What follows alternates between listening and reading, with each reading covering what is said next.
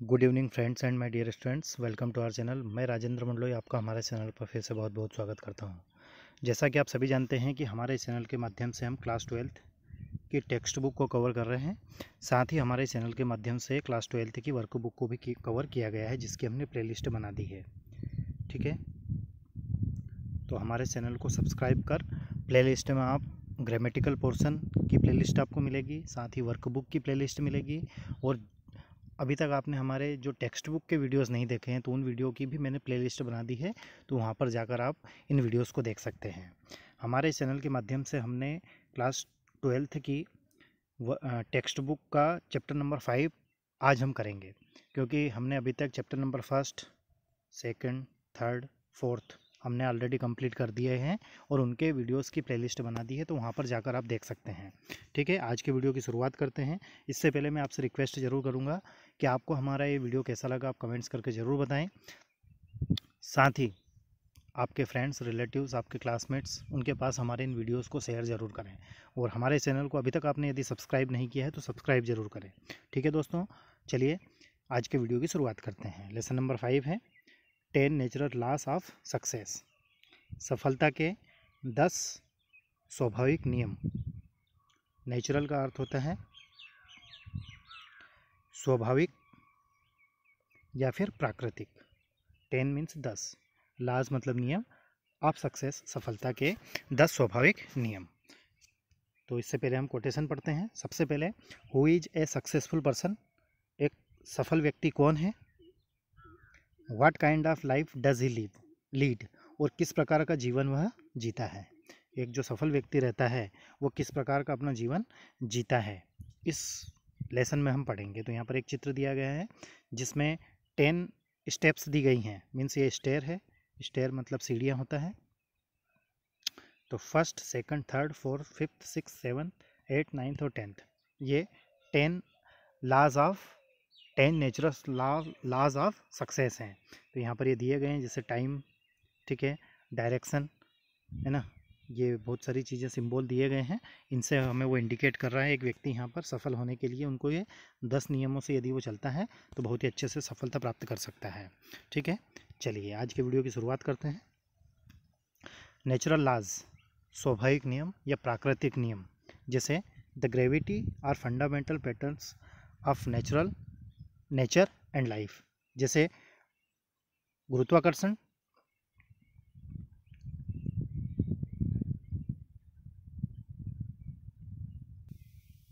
like gravity are fundamental patterns of life nature and life गुरुत्वाकर्षण are fundamental patterns जो कि आधारभूत प्रतिमान है। पैटर्न्स का अर्थ होता है प्रतिमान ऑफ़ नेचर एंड लाइफ प्रकृति और जीवन के, जिस प्रकार से कि ग्रेविटी होता है। ये भी एक नियम ही है, एक ला है नेचर लॉ ऑफ़ नेचर है gravity they describes they describe things as they really are और ये वस्तुओं को उसी प्रकार से वर्णन करते हैं जैसा कि ये हैं। जैसे ग्रेविटी है तो हम एक पत्थर ऊपर उछालेंगे तो वो नीचे आएगा। अब वो पत्थर ऊपर हमने फेंका था और वो नीचे क्यों आया है? इसको हम हमारे हिसाब से कुछ भी मान सकते हैं। लेकिन जैसा हम मानते हैं या सोचते हैं, वैसा नहीं होता है। वैसा ही होता है जैसा कि ये रहते हैं। इसका अर्थ ये है। As opposed to how we think they are हम भले ही इसके विरुद्ध में रहें, जो नियम है उसके खिलाफ हम रहें चाहे और how we wish they are, और जैसा जैसा हमारी इच्छा हो, वैसा ये नहीं रहते हैं। समझ में आ रहा है? Whether we agree with them whether का अर्थ होता है चाहे चाहे हम इनके साथ सहमत रहें और नॉट या नहीं रहें this laws ultimately govern our lives and operate independent of our awareness and wishes this laws ultimately अंततः ये नियम हमारे जीवन को संचालित करते हैं। गवर्न का अर्थ होता है संचालित करना। हमारे जीवन को संचालित करते हैं और हमारी जो अवेयरनेस है, हमारी चेतना है और हमारी इच्छाओं को ऑपरेट करते हैं, उनके अनुसार चलाते हैं। Obeying them can help us gain control of our lives इन नियमों का यदि हम, इन नियमों के अनुसार यदि हम चलें तो हम हमारे जीवन में नियंत्रण पा सकते हैं इम्प्रूव आवर रिलेशनशिप हमारी हमारे जो संबंध हैं जो रिलेशनशिप है इसको इम्प्रूव कर सकते हैं इंक्रीज आवर पर्सनल प्रोडक्टिविटी व्यक्तिगत उत्पादन को इंक्रीज कर सकते हैं बढ़ा सकते हैं and and experience inner peace और आंतरिक शांति को इनर पीस मतलब अंदर से आंतरिक इंटरनली जो पीस है शांति है उसका हम अनुभव कर सकते हैं। यदि हम प्राकृतिक नियमों का आ, के नियमों का उल्लंघन ना करें और इनके अनुसार चलें। ठीक है? तो पहला नियम है, इसकी ओर हम चलते हैं। देखिए, समझने का प्रयास करना। You control your life by controlling your time तुम तुम्हारे जीवन को कंट्रोल कर सकते हो, समय को कंट्रोल करके। मतलब यदि हम समय को कंट्रोल करते हैं तो हम हमारे जीवन को कंट्रोल कर सकते हैं। Controlling our lives means controlling our time जीवन को कंट्रोल करना, अर्थात समय को कंट्रोल करना। And controlling our time means controlling the events in our lives समय को कंट्रोल करना, इसका अर्थ यह है कि हमारे जीवन की जो घटनाएँ हैं, इन घटनाओं को कंट्रोल करना। ठीक है? समझते हैं घटनाएँ? You need to stop thinking time management तुम्हें टाइम मैनेजमेंट या समय प्रबंधन के बारे में नहीं सोचना है। यदि आप सोचते भी हैं तो सोचना बंद कर देना है। और क्या करना है? And start thinking event control और हमारी जो घटनाएँ हैं, हमारे जो अलग अलग तरह के हम कार्य करते हैं, है ना अलग अलग घटनाओं में शामिल होते हैं इवेंट्स उनको कंट्रोल करना है, ना कि समय को कंट्रोल करने की कोशिश करना है। यदि इवेंट्स कंट्रोल होंगे तो समय ऑटोमेटिक ही कंट्रोल हो जाएगा। देखते हैं too often we think time management has something to do with our watches प्रायः हम यह सोचते हैं कि हमारी घड़ी को देखकर, हम, जैसे ही घड़ी में हम देखते हैं कि ग्यारह बज गए साढ़े दस बजे स्कूल का टाइम हो गया है। फिर दो बजने वाली है रेसेस का टाइम हो गया है रेस्ट का टाइम हो गया है। फिर ढाई बजे सोचेंगे कि फिर पीरियड लगने वाला है। तो कहने का तात्पर्य यह है, शाम को हम देखते हैं, साढ़े पाँच बज गए हैं, घर जाने का समय हो गया है। अब खेल के मैदान से घर जाने का समय है। तो कहने का तात्पर्य यह है कि प्रायः हम घड़ी में देखते हैं और घड़ी को देखकर हम ये समझते हैं कि हम टाइम को मैनेज कर रहे हैं। लेकिन ऐसा नहीं है। हम क्या करते हैं? वो घड़ी जो हमें क्या बताती है सिर्फ़? देखिए क्या बताती है। The only thing a watch tells you is how long it takes the sun to go across the sky. घड़ी सिर्फ़ हमें ये बताती है कि सूरज आकाश में कहाँ से कहाँ तक गया है। घड़ी सिर्फ़ हमें ये बताती है, ठीक है? That's an event over which we have no control लेकिन यह एक ऐसा इवेंट है, ऐसी घटना है जिसको हम कंट्रोल नहीं कर सकते। समय को हम कंट्रोल नहीं कर सकते। हम कंट्रोल कर सकते हैं हमारी इवेंट्स को। The real issue is, issue एक वर्ड आया है, इशू का अर्थ होता है वाद विषय। क्या होता है? वाद विषय। मतलब जिस विषय पर, जिस टॉपिक का पर हमें चर्चा करनी हो that means issue the real issue is what events can I control कौन सी इवेंट्स को मैं कंट्रोल कर सकता हूँ? क्या मैं इवेंट्स को कंट्रोल कर सकता हूँ? Focusing on controlling the events of our lives makes all the difference यदि हम हमारे जीवन की जो घटनाएँ हैं इवेंट्स हैं, उनको कंट्रोल करने पर यदि फोकस करेंगे तो हम पूरा अंतर कर सकते हैं। मतलब हम समय को कंट्रोल कर सकते हैं और समय को कंट्रोल कर सकते हैं तो हम हमारे जीवन को कंट्रोल कर सकते हैं। ठीक है? तो मेरा नियम ये है। इसमें सबसे इम्पोर्टेंट चीज़ एक ही वाक्य में यदि मैं कहूँ तो हमें सिर्फ़ हमारी इवेंट्स को कंट्रोल करना चाहिए, जिससे हमारा टाइम कंट्रोल होगा और टाइम कंट्रोल होगा तो हम हमारी लाइफ को कंट्रोल कर सकते हैं। नेक्स्ट पेज पर चलते हैं पेज नंबर थर्टी सेवन जिस पर रूल नंबर टू दिया गया है ला टू देखिए your governing values are the foundation of personal success and fulfilment सबसे पहले हमें यह समझना है कि गवर्निंग वैल्यू क्या होती है। ठीक है गवर्निंग वैल्यू का अर्थ होता है शासी। सासी मूल्य। अब सासी मूल्य क्या है? सासी मूल्य का अर्थ यह है या प्रबंधन मूल्य इसको कह सकते हैं। हम क्या कह सकते हैं? प्रबंधन मूल्य। ठीक है? प्रबंधन मूल्य मतलब हम अपने आप पर किस प्रकार से शासन करें, अपने आप को किस प्रकार से संचालित करें। That means governing values your governing values are the foundation of personal success and fulfilment आपकी गवर्निंग वैल्यू आधार है व्यक्तिगत सफलता और संतुष्टि की। ठीक है? समझ में आ गया होगा आपको? व्यक्तिगत सफलता और फुलफिलमेंट का अर्थ होता है संतुष्टि। का आधार क्या है? हमारी गवर्निंग वैल्यू है। गवर्निंग वैल्यू मतलब हम अपने आप पर किस प्रकार से कंट्रोल करते हैं? हम अपने आप को कैसे संचालित कर से करते हैं। Each of us lives according to a unique set of governing values हम में से हर कोई एक unique set of governing values के अकॉर्डिंग कार्य करता है। जैसे मैं अपने आप को किस प्रकार से संचालित करता हूँ? ये अलग हो गया।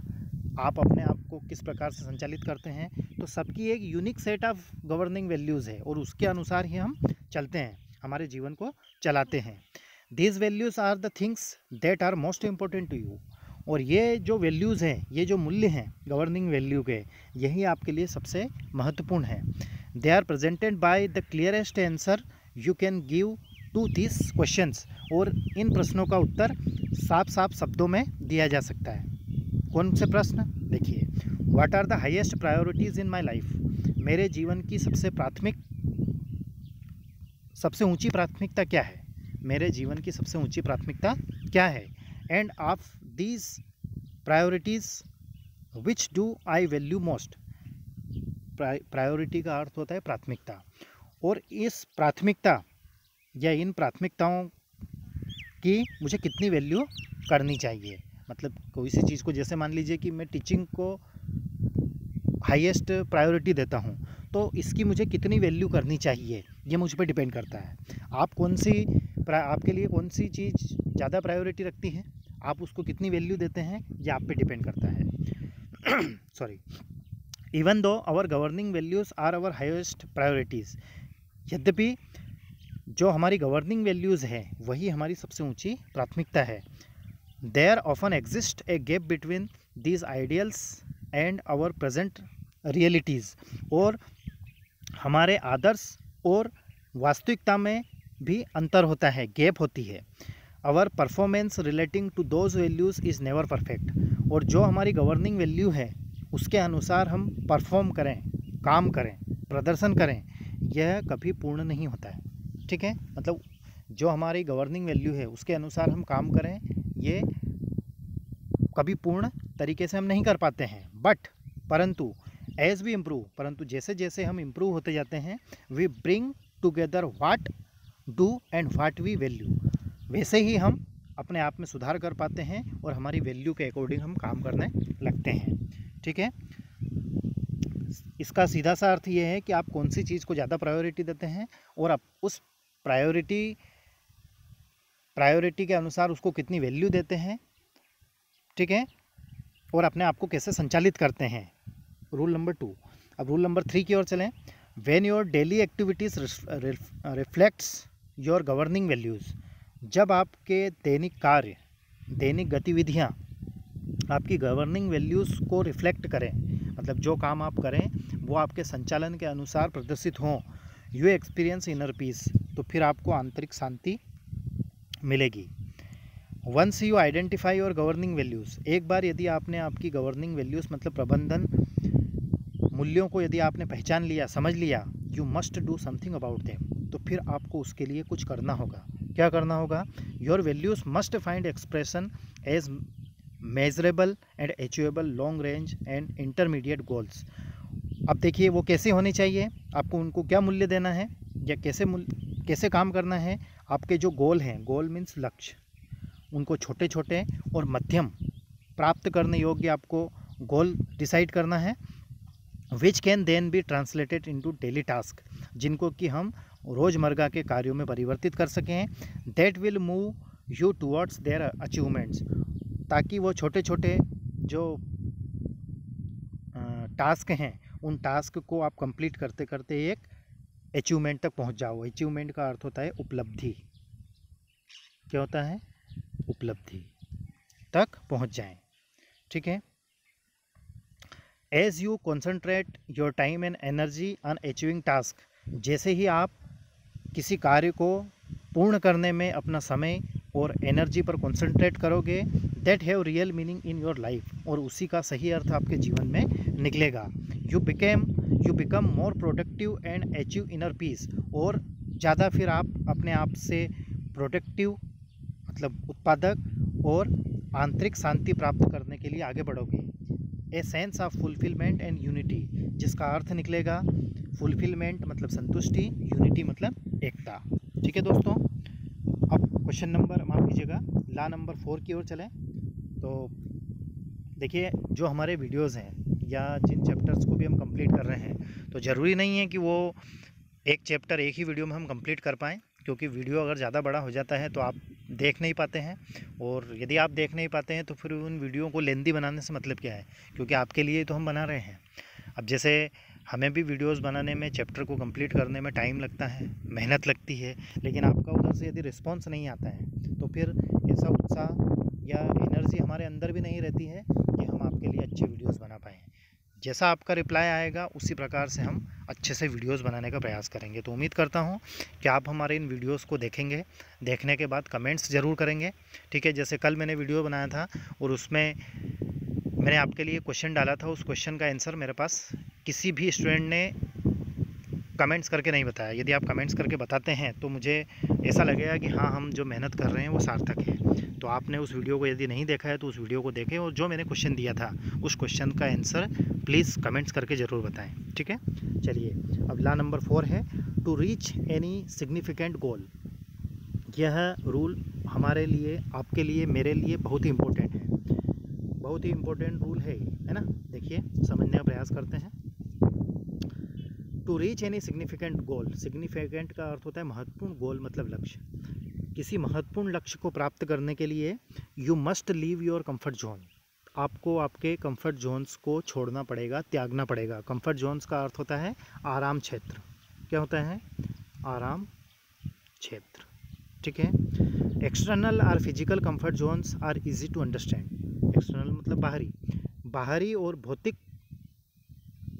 आराम क्षेत्र को समझना आसान है इजी है but they are by no means the only type of comfort zones we है इसका अर्थ यह नहीं है कि हमारे पास सिर्फ़ एक्सटर्नल और फ़िज़िकल कंफर्ट जोन्स ही हैं। इनके अलावा भी हमारे और भी कंफर्ट जोन्स हैं, जैसे sometimes we develop mental emotional social and psychological comfort zones प्रायः हम मानसिक, भावात्मक, सामाजिक और मनोवैज्ञानिक आराम क्षेत्र भी हमारे अंदर उत्पन्न कर लेते हैं या बना लेते हैं। This can be much more difficult to leave than our physical comfort zones हमारे भौतिक कंफर्ट जोन्स या आराम क्षेत्रों से को छोड़ने से ये ज़्यादा कई कठिन होते हैं। Leaving our comfort zones requires efforts and commitment in comfort zones को त्यागने के लिए हमें एफर्ट और कमिटमेंट की आवश्यकता होती है। ठीक है कमिटमेंट क्या है? कमिटमेंट पर टू नंबर डला हुआ है तो हम नीचे देखेंगे इसका अर्थ कि कमिटमेंट मतलब क्या होता है। वैसे तो आपको मालूम होगा, लेकिन फिर भी हमें वर्ड टू वर्ड इसको समझना ज़रूरी है, क्योंकि हमें एग्ज़ाम क्रैक करना है, अच्छे नंबर लाना है।